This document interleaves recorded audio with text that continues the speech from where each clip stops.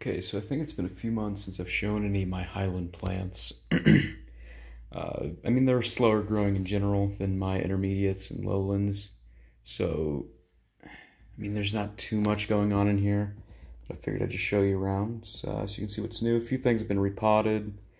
Um, a few things have been moved over to the intermediate into the intermediate uh, tent just to see how they'll do. Uh, sorry if it's a little echoey in here. I'm kind of in an empty room. We just recently moved. Uh, and then I've got my dog in here. She's kind of needy, so she might be making some noise. Let's just start up top. This is a uh, seed-grown macrophylla. Here its two newest pictures.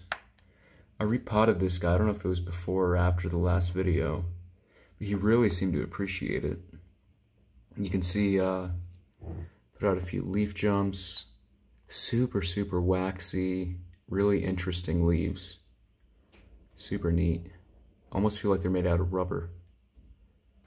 Uh, not sure what the origin of this one is. It was just sold to me as uh, seed grown, and I mean, I was just happy to have the plant, so I didn't ask too many questions. Just happy to add it to my collection. Okay, sorry about that. My cat was uh, trying to climb into a bag of leaves that I've just been trimming off. Anyways, um, let's see, we've got a Palawanensis here. I recently repotted it as well. Uh, it was just kind of not growing super fast. I mean, it wasn't doing poorly, but I just felt like it could do better. Repotted it into a bigger pot, and it seemed to appreciate it. You can see this is the newest leaf it put out right after being repotted. Here's a Lowii. I can't remember which clone this one is. I think it's an AW clone from Trusmadi. Let's see if I can get a good look at the lid bristles there. It's been doing really well. Uh, this plant was tiny when I got it, and it's just put on a good amount of size. It's a fairly decent sized plant now. It's still small, but I mean, in comparison to how tiny it was when I got it, right. Let's see. Here we've got a Hamata Edwardsiana. This is, uh, I believe, clone either 9 or 7. I'd have to pull the tag. You can see he's got a bit of a weird shaped mouth. Which honestly I kind of like. Sometimes I just come in here and look at this plant kind of laugh at it. It's just pretty, it's pretty goofy looking. But they open up this uh, pure green and then they kind of darken up and get that kind of dark licorice color peristome. Not a whole lot of color to the body. But also it's got a long ways to go. You can see it's put out some pretty decent leaf jumps recently as well.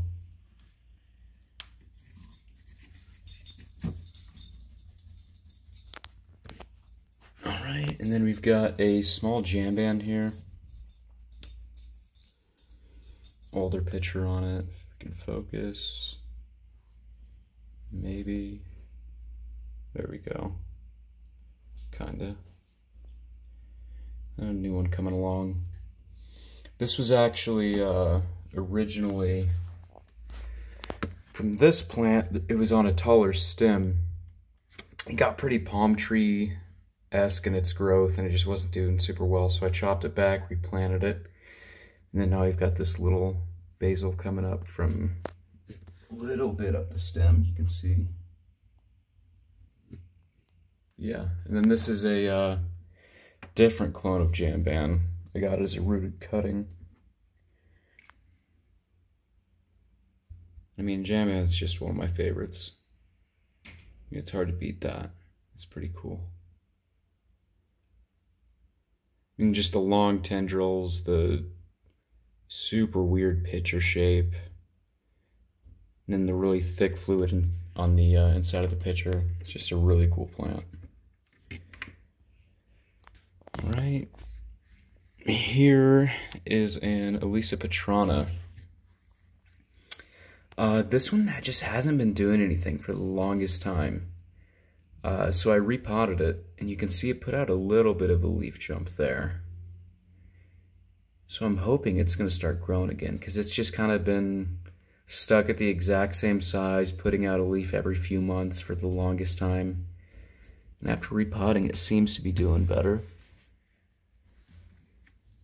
And if you remember, this is the Raja that uh, I got from a, uh, let's see, Black Jungle. Honestly, don't recommend them. I've gotten a few plants from them, and they've all just had a lot of issues. But this one came with a bunch of different little basal growths. So the main plant wasn't doing well, so I just chopped it off, replanted it here. You can see it's starting to put out new leaves.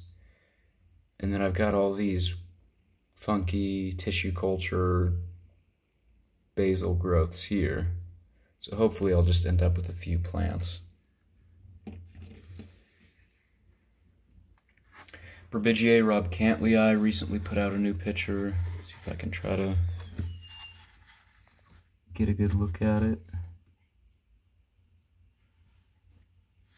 Pretty nice plant. I think this,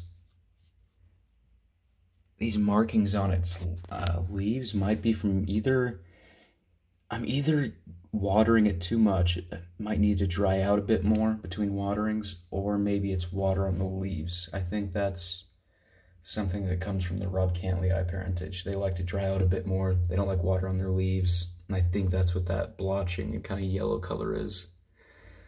But uh, if anyone knows for sure, let me know. And let's see, what else have we got? Hamata AW Clone 2.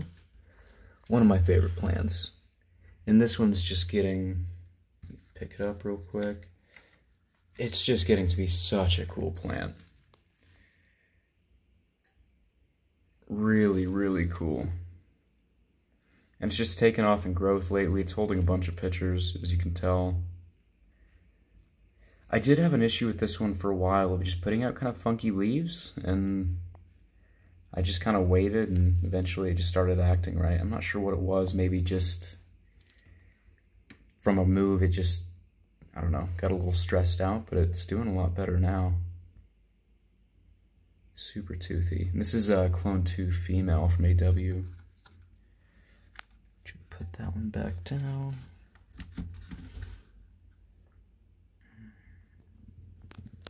This is a uh, Briggsana, is that right? Lowii ventricosa.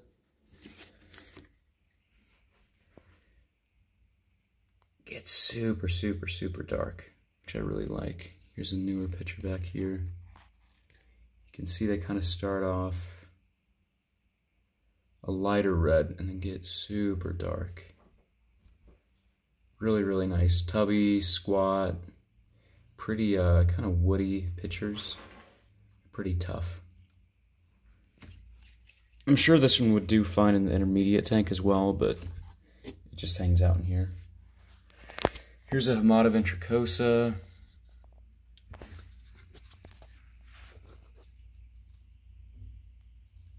It's doing pretty well. Uh, it's one that pouted for a while after arriving in the mail, but you know, with time, it's just gotten better. I think this is a seed-grown one, maybe? No, no. It's a clone. Here is a Ooh, uh, Singalana hamata from Carnivero. This is one of their seed-grown plants. It's doing all right. This one, whenever it first arrived, uh, while I was taking it out of the packaging, actually every single root broke off. Like the entire root stem just completely broke off. So it took a little while to get back on its feet, but doing well now.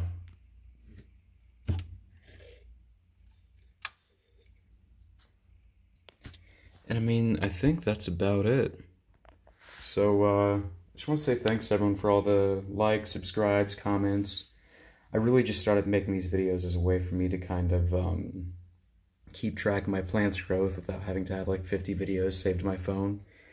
And I figured, you know, if one or two people watch, that'd be nice. But uh, really, just thank you guys so much for the support. And uh, yeah, see you next time.